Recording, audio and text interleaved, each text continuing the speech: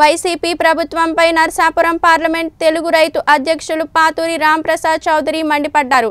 తూర్పుగోదావరి జిల్లా రాజమహేంద్రవరంలోని ఆయన మీడియాతో మాట్లాడుతూ ప్రభుత్వం రైతులకు తీవ్ర అన్యాయం చేస్తుందని ఇకనైనా రైతుల పట్ల సానుకూలతతో ఏప్రిల్ పదిహేను వరకు పంటలకు సాగునీరు అందించాలని ప్రభుత్వాన్ని డిమాండ్ చేశారు.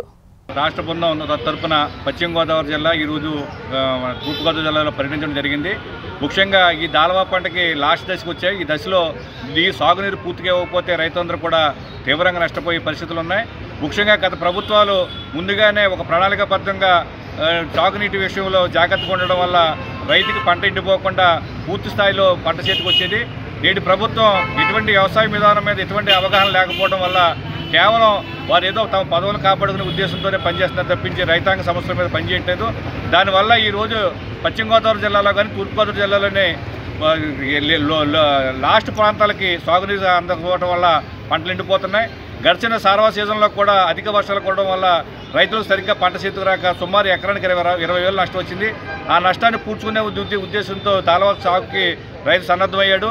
ఈ రైతు ఇప్పటి వరకు వేలలో పెట్టుబడి పెట్టాడు ఆఖరి దశకు వచ్చింది. ఈ దశలో రెండు రెండు రెండు తళ్ళైన సాగునీరు ఇవ్వకపోతే ఆ రెండు పడ ఇవ్వకపోతే రైతు ఆ ధాన్యం చేతికి రాని పరిస్థితి. దానివల్ల అప్పులు కూరుకుపో అప్పుల్లో ఊపుల్లో కూరుకుపోయి ప్రాణాల త్యాగాలు చేసే పరిస్థితులు కూడా ఉన్నాయి కాబట్టి ప్రభుత్వం యుద్ధ ప్రాతిపదికన వెంటనే చర్యలు తీసుకుని ప్రతి ఎకరానికి కూడా సాగునీరు అందించి రైతులందరినీ కూడా కాపాడాలని తెలుగు రైతు రాష్ట్ర తరఫున డిమాండ్ చేస్తున్నాం.